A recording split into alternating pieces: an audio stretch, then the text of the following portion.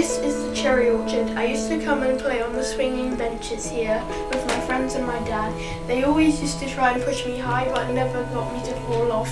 I always used to push them high and they would always fall off.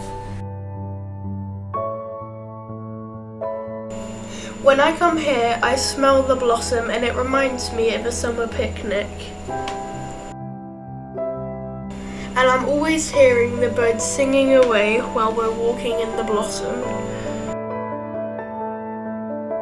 The traditional name for the cherry orchard is the Japanese Taihaku and it is the biggest one of its kind.